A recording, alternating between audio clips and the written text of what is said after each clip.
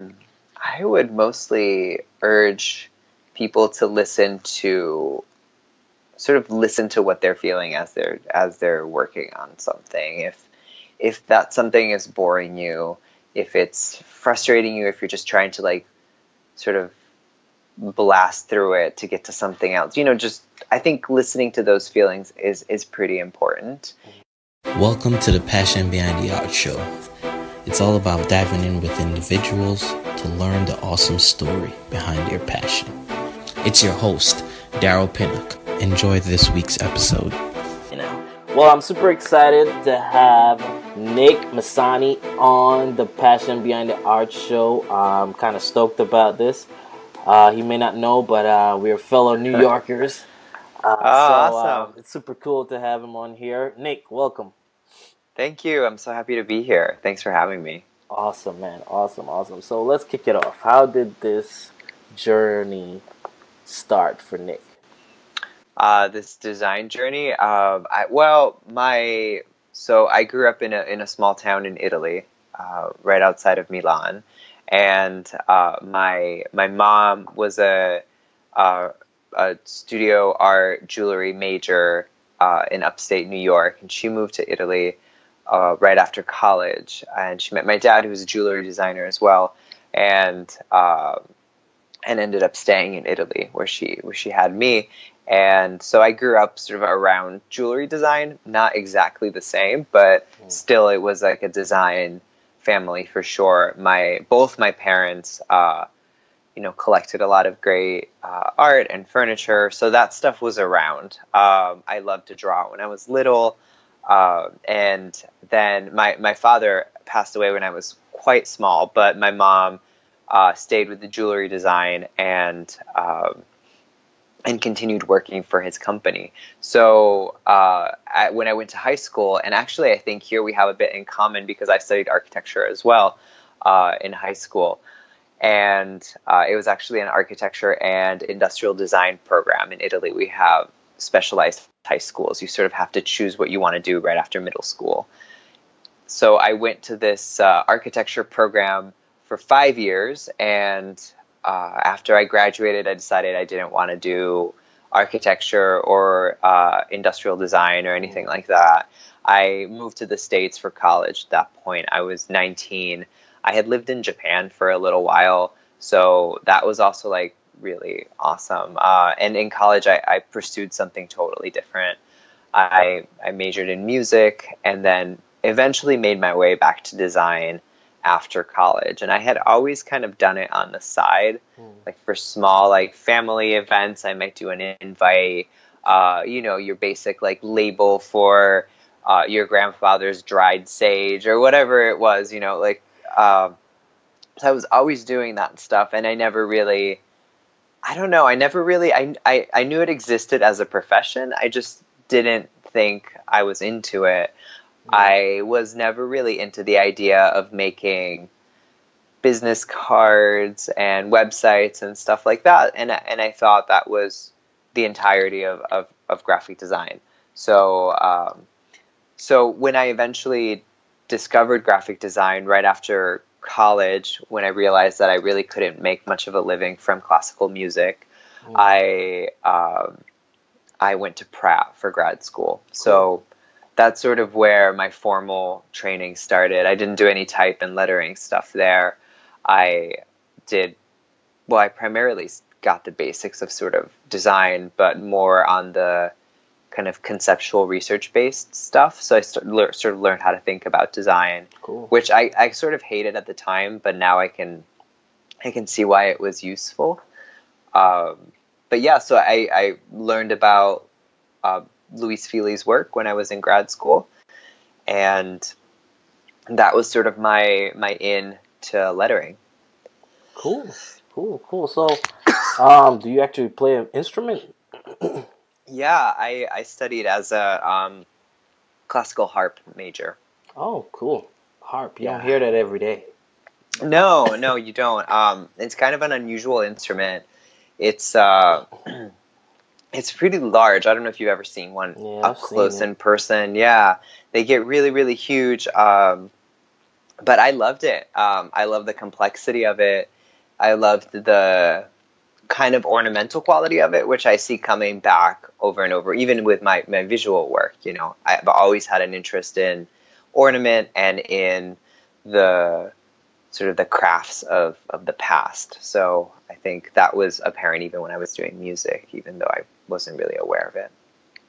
I mean, it kind of makes sense, especially with the jewelry background. Yeah, um, in, retrospect, yeah, I guess. It, yeah, it just all kind of ties together because if you think about it, the tiling, um, the tiling type of design, if you really think about it, jewelry has some concept of um, tiling mm-hmm. too when it comes to jewelry. Sure, yeah. yeah. So, but even just this like interest in like decorative art right. and right. and stuff like that, you know, I, jewelry is definitely a decorative art, and um, and and obviously mosaics, but also the other stuff that I've been interested along the way and then I continue to be interested is kind of within that that field. Okay, so are you are you and your mom like still pretty close and all that stuff? Yeah, it's funny you should say that because she I just got a notification as we're speaking that she's calling me, and and she's like, "You can't talk." what's happening? like, yeah, I forgot to tell her this was happening. Um, oh, but yeah, we're very, very close. Um, you know, when she was a single mom, obviously, like I said, um, and I had a, I have a little brother, so that environment um, kind of. Uh, I guess it could go either way, but in our case, uh, it, it made us all very, very close. Um, and yeah, so she's she's she's great. Uh, she's still she's still very artistic and creative, but she doesn't she doesn't really do much of the jewelry stuff anymore. Okay, cool, cool. So how did so basically you came to New York for school? I did, yeah. I studied the music school was in upstate New York, so it was still New York State, mm-hmm. but I moved downstate um, for for grad school to study design, and um, since I graduated grad school, you know, I've just been here ever since, and that's at this point like seven years ago, which is crazy to think of um, that I've been doing this for for that long. Actually, I moved down here seven years ago. I graduated like five years ago, something like that. Okay, cool. I left in New York seven years ago. Oh no way! so yeah. our paths crossed. Yeah, Where did you live? I lived kind of all over the place, but I lived in Brooklyn. The last place I lived was in the Bronx. So uh, most of my oh, years, okay most of my years I lived in Westchester County though. Oh, cool. Yeah, yeah, yeah, yeah. it's really nice up there. Yeah, yeah, it's nice, very nice. So it was just kind of cool to. I'm always. I still consider myself a New Yorker, even though I've been in yeah, Georgia New a Yorker long time. for life. Yeah, yeah. It's like one of them things. Like it's kind of like a fraternity. You're from yeah, New York. You're sure. from New York forever. Yeah. All right. So, kind of talk to me about who um kind of pushed you during this journey, um, who you kind of pull energy from, those people that you know you call your support system? Yeah, uh, that's such a it's a great question because there there's so many different people that fill that role for me. Uh, I mean, there's people who support me on a personal level, um, and and and you know, I do need a decent amount of support. I have to say, like I. Uh, I do lean on my friends and I lean on my partner a lot, and uh, obviously, like my, my mother, we're close, so we talk a lot about design and about my own insecurities around design and where I see my my career going or not going. Uh, but professionally speaking, Louise, my former boss, is still has a, still a, a, fairly large role in my life. Uh, she's we stay in touch, and she's still endlessly supportive and uh, always encouraging and she was this way while I was working for her, but she remains this way even now that I've left. So I would say personally, yeah, my mom, my partner, and professionally, Louise. And I have, I'm fortunate that I have a, a few, not many, but a few really, really good, really close friends that are designers. And I really cherish those friendships as well. Yeah, that's cool. It's cool to have that support system because I don't think people understand, but design can be a very lonely um, Oh, for sure, yeah. Freelance design, I'm learning now. You know, this is still very new for me, but I'm learning that it does get very, very lonely, especially in a city like New York, where like it's you know there's so many people, but it's still a pretty can be a pretty lonely place. Yeah, I can't wait to get into that even more. So yeah, I know it's not. I know you probably as soon as you started out, you had it all together. You had it figured out you're on top of your game from the beginning. Right. Yeah, but just in case, just Yeah. in case, what would you say was the biggest struggle you had to overcome? I think uh, probably uh, boredom maybe um, was the biggest struggle for me. It's I have never had a terribly hard time of it. Um I did work really hard to get to a point where I more or less enjoy what I'm doing, and I'm fortunate that I have work, and I've never really had to uh, not have work. I've never had a really a dry spell, but you know, just I've just started, so we'll see how that goes. But I have struggled with getting to a place and then enjoying it for a while and then getting bored pretty quickly. Mm. So uh, I'm I'm pretty uh, I'm pretty goal driven. I'm I'm motivated by goals. So one of my first goals as a designer was to work for Louise, and uh, it took two and a half years of and several attempts to get there, but eventually it happened. So once once it happened, I, I enjoyed it for quite some time, but then dealing with those feelings of maybe restlessness and wanting to continue to explore things and maybe feeling myself getting into a rut despite having this great job you know this feeling of guilt around like Mm. well i have this great job why don't i appreciate it more i have this great boss that is really all i could ask for in a boss but right. uh, why do I still, you know, what else is out there? So, and I, I would like to think that that was sort of a, I could tell you that that was a, a natural transition, and I was just like, okay, it's time to move on. But it, it did kind of, um, it kind of got me down for quite a few months. Wow. Just this feeling of like not, um, not in not enjoying what my personal work was and feeling bored by it and doing kind of the same old same old at home i'm not really i wasn't really as concerned with the fact that i was doing a certain type of work at the office because that was the work of the studio which i happen to like also but when my own personal work started like feeling a, a little bit boring to me then i knew that sort of i had a problem and i had to like switch something up So, talk a little bit about what did you have to do for two and a half years to to kind of get on board? Oh to to start working for louise Yeah. Uh, well, the first so the first time I reached out, I applied for a job with her. Uh, I was right out of graduate school, and my portfolio was full of this like really conceptual, weird stuff that I wasn't really believing, and I I didn't feel strongly about. I had done a little bit of lettering on the side that mostly because I wanted to get better so that I could work for Louise. And at the time, I thought it looked pretty good. But uh, you know even just after a few months I, I realized how bad how bad it was. And she was really gracious and and patient but obviously it wasn't going to be a good fit. I was like way too green. So i signed up for this uh, two week workshop that she teaches in rome. She teaches a typography workshop every year through sva and uh, it's it's quite expensive and I had to sort of really budget for that, which wasn't easy since I had just graduated and I had a ton of debt. But I thought it would be a good a good opportunity to study lettering in a more formal setting, since I didn't really have the chance to do that at, at Pratt, and also obviously get to know Louise and get to know what her taste is like and how she works with people and, and evaluate if that was going to be a good fit for me. So it ended up I, I ended up really liking it and I, I felt like I I had this uh, we had a good mutual kind of like feeling. But at that point you know the position had been filled so there was no opportunity uh, moving forward until two and a half years later. So I stayed in touch with Louise and um, Just kind of building that it- rapport, huh?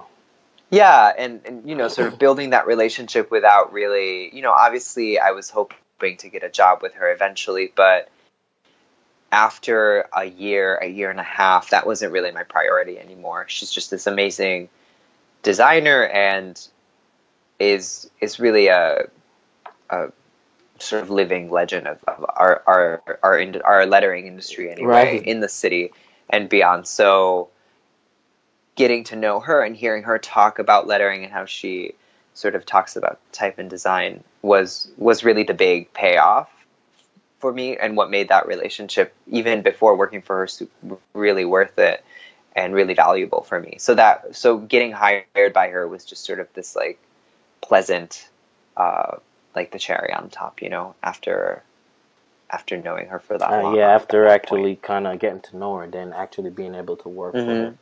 I mean, it's just funny. and i think that's partially why oh sorry what No, I was just saying it's just funny how some of the, sometimes those things work. Yeah. And I think that's why we had, uh, I feel like we had such a good working relationship because we were sort of pretty familiar and comfortable with each other even before I started there. Okay, so let's talk about this um this style that you've basically patented. Um, Yeah. faux, faux, Fausaic. Mosaics, yeah. right, So it's Fausaic. a, it, it's a it's a portmanteau of, of faux and mosaics, and I started it really. It's hard. To, I mean, it kind of comes out of this period we were talking about a second ago, where I was bored by my personal work and kind of just overall feeling like not feeling lettering and not feeling design anymore. Mm. I thought that by that point I it was I should just abandon design and st- find something else. So I looked into going to, back to school for interior design and ended up not pursuing it, but um, I got really into it for a little while. Read up a lot about you know stuff like lighting fixtures and eventually tiles and tiling patterns came up Mm. also. So and and as I mentioned earlier, decorative arts have always been a huge interest of mine.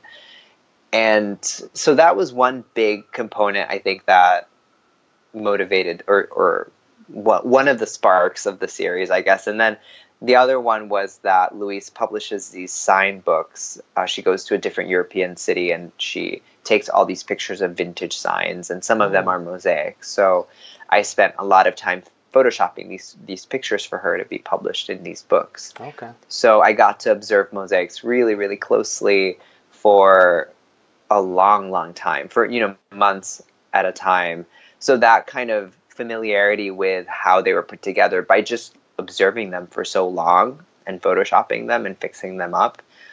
Uh, sometimes you know there would be scaffolding in front of a particular mosaic, so I would have to remove the scaffolding and rebuild the mosaic behind it, you know, that sort of stuff. And eventually it seemed, you know, I wanted to try out making one from scratch.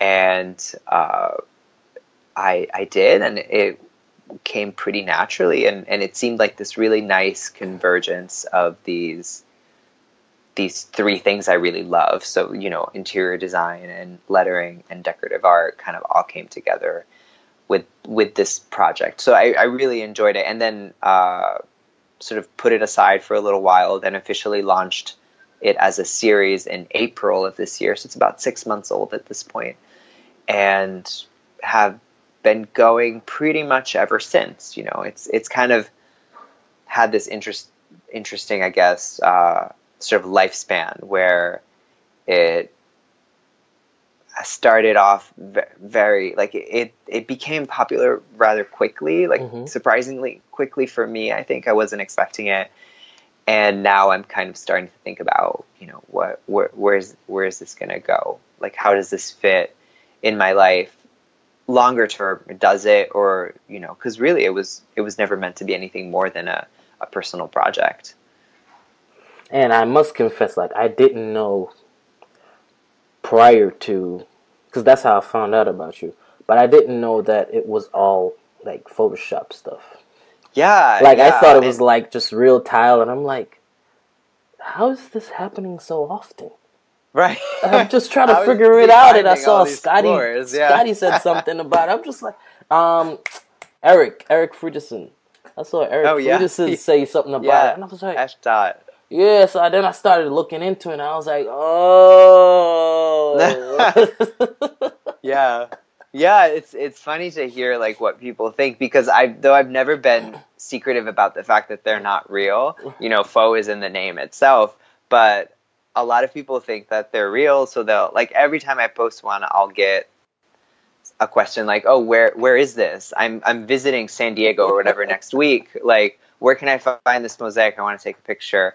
And uh, you come with the disappointment. yeah, and I'm like, well, actually, you know, it's not real, and I feel bad because I feel like I've been deceiving them, but like I've, I've never really hidden that fact. No, but I think so, that's kind of like the draw factor too. A part of it because somebody just randomly finding it. I mean, it it looks realistic and it basically outside of design like it draw anyone like i know it would draw my wife. Uh, thank you. I appreciate i appreciate that. Um, yeah I, I i don't know why like i don't know if it's just the realism or the fact that it, they look like they take forever if that kind of has like that added like draw yeah. of that kind of meticulousness uh, which which they do take forever. Uh, i'm not entirely sure or if it's you know also it's just kind of like eye candy you know but i had someone contact me and was like i don't understand if you make these or you just is it your job to travel and look for like floors so oh my gosh that is funny i mean it would be it would I, I, yeah it would be pretty amazing if if just the the world was littered with interest interesting. Uh, hey man, you just never know like what what it what it can turn into. But I mean, it's pretty cool. Yeah, and it, it's taking it's taking some interesting twists and turns because it's it because I never really thought of it as a commercially viable personal project. Uh, I just did it because I wanted to do something creative that also has kind of a repetitive meticulous quality, sort of like like knitting or something that's like kind of meditative in a certain right, way. You right, know, I was right. doing that and I was enjoying this this kind of zone I was getting in as I was drawing. You know, each one is about like six to ten thousand tiles, so that's a lot of drawing. Yes. Um, yeah, so but because I never really thought of it as a commercially viable piece I, or project, I, it's interesting to me to see how clients are applying it to their own needs. So I obviously the the kind of the the obvious application would be for editorial stuff. So right. I, I, have gotten quite a few magazine covers and, and stuff like that. Uh, but increasingly, I'm getting sort of more creative requests. Like I've I've been asked to do to do one pretty recently. Actually, just sent it to print the other day that is going to be print life size. It's still going to be fake. It'll be printed on vinyl, but it's going to be printed life size and be this temporary installation at this store on downtown Manhattan. Nice. Uh, so yeah, so that's it's interesting. I don't know how it's going to look. I'm hoping it's going to look good because I don't want them to be angry at me if it doesn't. But um, you know, I, I was. now you do like, fine, I don't, man. It's going. I don't know how this is going to look, but also. Uh, another clothing uh, store here in the city wanted me to do a real mosaic, which was absolutely, you know, I don't know how to do that. So I had to, you know, research mosaic artisans in Manhattan, which is not not easy. I guess I could only find one couple. i It's like really old, like found any. yeah, and the only ones that like look like they were really like legit, like professional mosaic artists and they were like they agreed to do it but they were like why do we need you like why do we need you to do the type we can just, just do the type and i was like well i'm i want to letter it in a certain way and you know the client wants my type i just need you to make it in in tiles um, but yeah it's been it's been an interesting ride for sure that's pretty cool i mean yeah, I mean, I, I just kind of see it kind of going into something like that. But I mean, it was I was just like, and then I I saw my friend um Ray. I know you saw it too. Ray did his version. Oh yeah, yeah, that was ago. that was cool. Yeah, I love yeah. seeing stuff like that. Like so, I really like it when people sort of.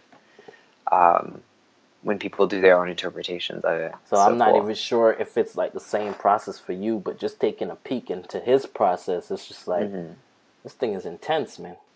Yeah, yeah, and I, I have gotten like several requests for tutorials and teaching, and I'm doing a little bit. I'm just starting to get into it now, um, and I've never, I don't really talk about it much, and it's not because I'm being secretive or protective.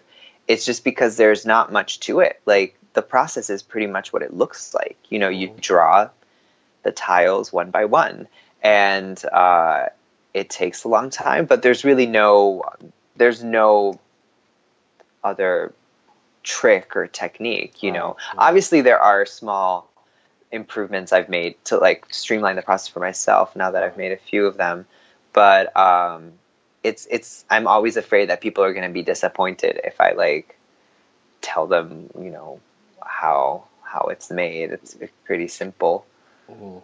well i mean i'm pretty sure just drawing i mean it should be a decent like how long does it usually take you to like like the Austin one, how long did that take? Uh, the Austin one, the Austin one was a collab actually okay. with Mark Caneso. Okay. Um, so, but that doesn't really change the the amount of time it takes for for tiling, the the hand drawing, the the grout that the tiles you know fit around, and it depends. You know, the Austin one was actually it has some larger tiles around the the edge, okay. so those take less because there's less grout to draw. Right. But a piece like I, I published, uh, I posted this one for Paris not too long ago. Mm-hmm. seen that and one. that one has tons of like the the tiles are pretty small. I don't know why I made them so small. But that one took a solid 24 hours of just um, just drawing. That's crazy. Just grouting. Yeah, so that was one of the longest ones and the the newest one that I did that was gonna, that's going to be printed full size. That one is probably takes the cake as like the longest one just because I wanted it to look really good at 100% size. Right. I'm generally not as concerned with with like making each individual tile look, you know, good. Uh, but in this case, I wanted to make it look uh, solid. And plus, it's for a client through. and all of that stuff, so you, know, right, you gotta yeah. put the extra, you know, oomph on it. Sure, for sure. Right, Bells right, and whistles right. and all. So I like this whole deal that you're doing with going independent and you're like counting the days. Um, mm-hmm. like day one, day two, day three. I mean, it's yeah. pretty cool. Like, I'm pushing real hard right now to go independent, but I'm not quite there yet. So, awesome. I mean, I just kind of want to hear like what made you want to go independent and how it's going so far. Yeah, so it's it's pretty recent uh, still. It's I'm on uh, like day seventy something now, and I I I'm I'm loving it. The push was mostly just this this feeling that I, I was I was getting a, a decent amount of freelance work on the side, and that ended up I was I was making pretty much the same amount of money I was making freelance on my day job. So which obviously it's great to have two incomes, but it was I had no you know work life balance. I'd get home from work, I'd do more work, and I'd do work on the weekends, and uh, and I'd I'd inevitably burn out once every like month and a half or two months. So then I I'd like not be able to do any work for two weeks and then start the cycle again. It's just not not a healthy way to relate to to your own work. So it just it just sort of that was part of the impetus. The other part was that um, my my partner was applying to go to graduate school in London, so that would have required a move, and uh, it ended up not working out for us. Uh, the move, I mean, but I still I had I had already given notice by that point, and oh. arrangements were already made. So, but it, it all worked out. You know, it all worked out for the best. Now so the ball so was already rolling. So the ball yeah. was rolling. Yeah, yeah. Um, but it's good. You know, my work life balance isn't really any better, honestly, right now. like. Uh, yeah, I still work just as much. Uh, I I feel like if there's a void of time, then work is just going to fill it automatically regardless of how much how much time you have and i'm actually right now in the process of trying to be a bit more intentional about the work I take on right. and just in general how I live my life, just living a little bit more intentionally and not just taking everything that comes my way just because I'm afraid I'm not going to have, you know, I'm not going to have work next month if I don't take every single thing. So Gotcha. um, Gotcha. I'm still on the tail end of this like taking everything, so I'm a little bit frazzled at the moment. But I think moving forward, I'd like to be a bit more sort of considered, like consider a little bit more what what I take on. So, what would you? What, what's your secret, man? Like, how are you just like so overloaded with work? Yeah. uh, um, I, I mean, I, I, it's not all, it's not all like interesting work. Like, it's not all like glamorous stuff I share on Instagram. You know, I think I not think that that's I think people don't but really people when when you get most of the times that's how it is though. Like the boring It's work life, is you what know, the like- boring work is what kind of keeps you go keeps you afloat. Yeah, and you share the work you want to do more of. You know, Right. I'm not going to share the work I hate doing because I don't want to get more of that work. Exactly. But um, but yeah, there is some work that I I'm you know I'm not I'm not going to say specifically just in case one of my clients is listening. But uh, there is some work I'm less excited about. Some work that maybe I was excited about two years ago. You know, the idea of doing a certain type of work excited me and now I've kind of either outgrown it or just moved on, but I still kind of take those jobs just by nature of habit or because I'm I'm afraid of losing those relationships with art directors and Right. um, I have a hard time saying no, but I think that's uh, that's a common struggle for a lot of us. Um, yes, yes, indeed. just being yeah yeah so but some work is exciting and is interesting and just trying to downsize I, I think is also great because right now I, I don't I don't want to tackle those projects I'm excited about in kind of a frazzled way. I want to have time to really do something that ex- ex- excites me and not just plow through it just because I need to get it done and I'm like a week and a half late. cool. So, what made you? Um, I, know, I seen your post. Uh, what made you get um like an agent?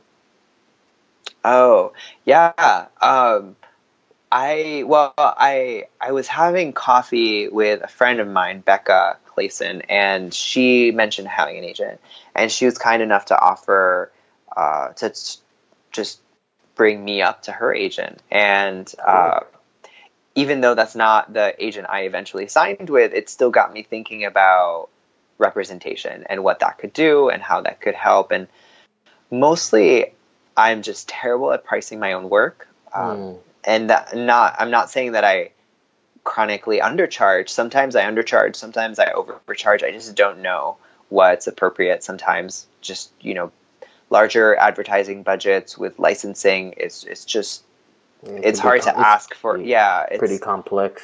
it's complicated and um I just I, I didn't enjoy that process this that guesswork because I, I didn't want to just pull a number out of out of a hat that maybe you know this was this was especially for smaller clients this is like a number that they have to work towards and they have to save and budget for and you know I don't want to feel like I'm overcharging these people or you know but at the same time i don't want to undervalue myself and also Right. the rest of the industry by by undercharging so uh, so that was my primary the primary impetus for for getting an agent.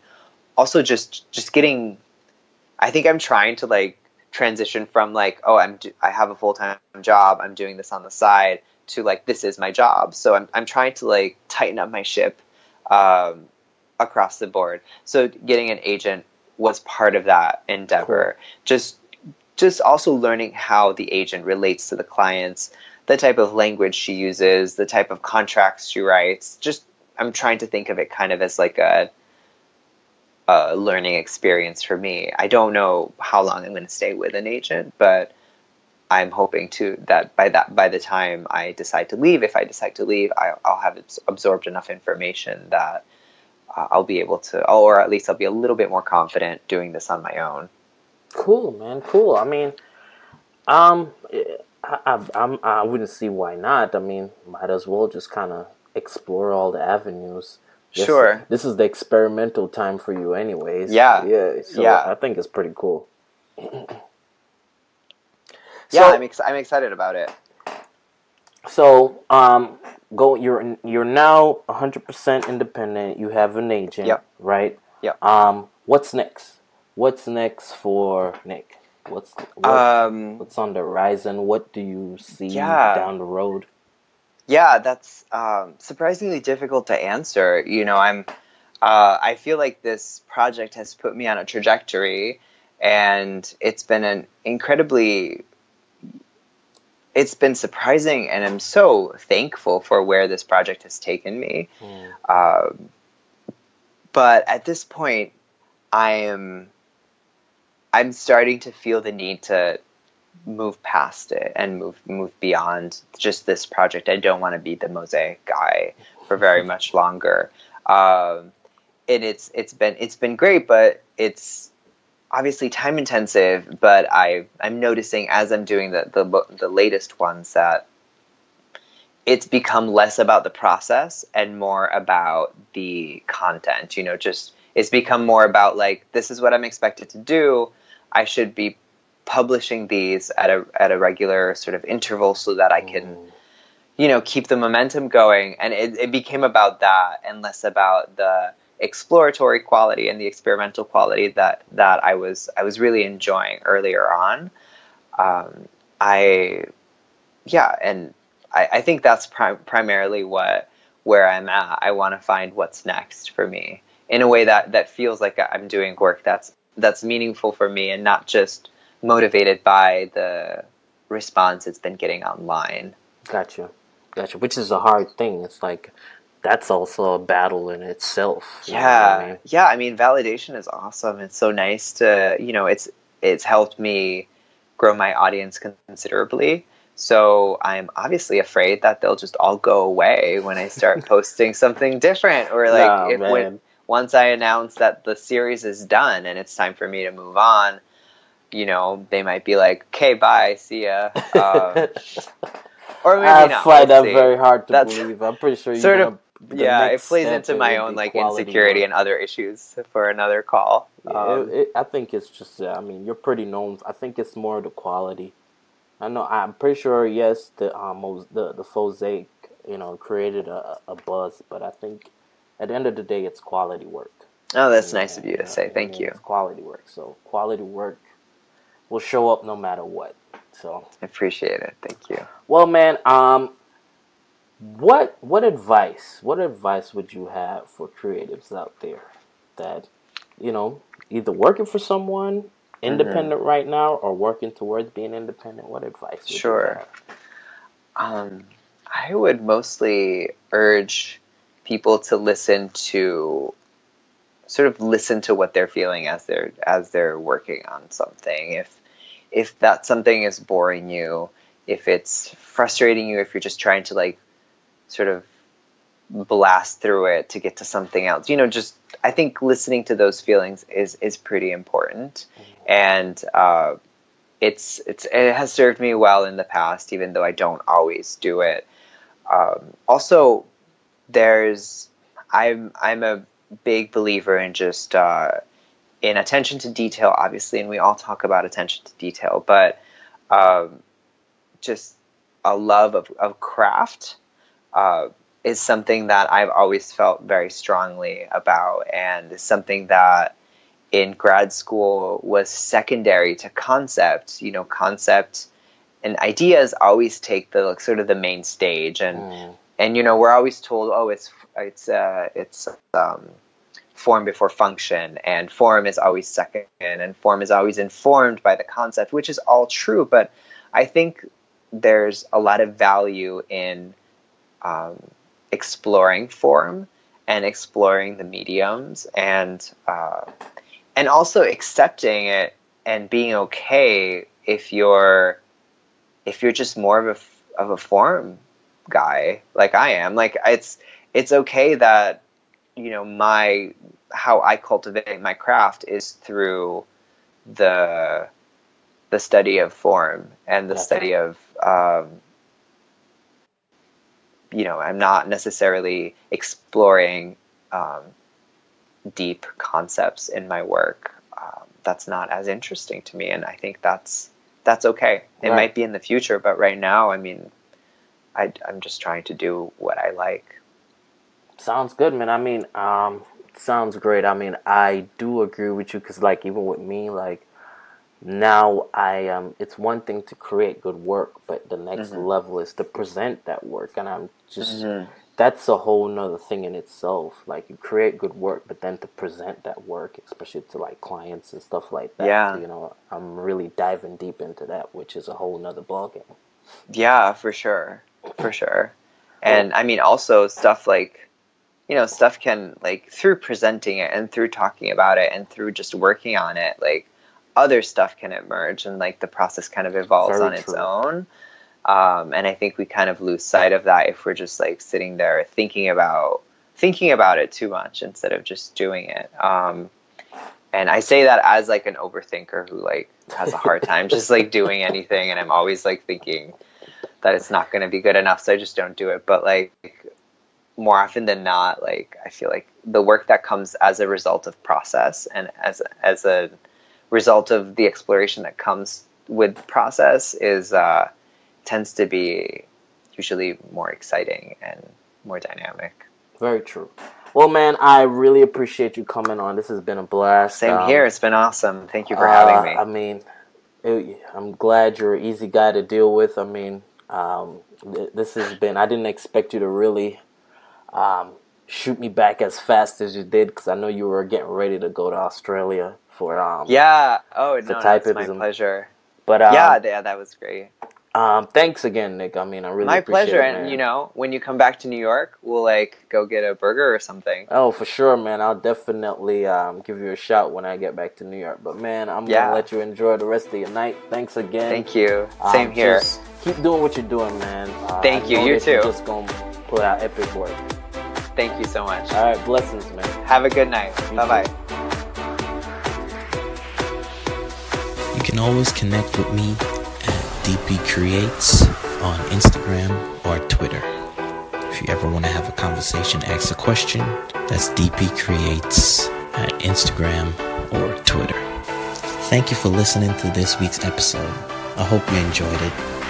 I would love to get your feedback, so please leave a review on iTunes and keep sharing the podcast on social media. Be blessed.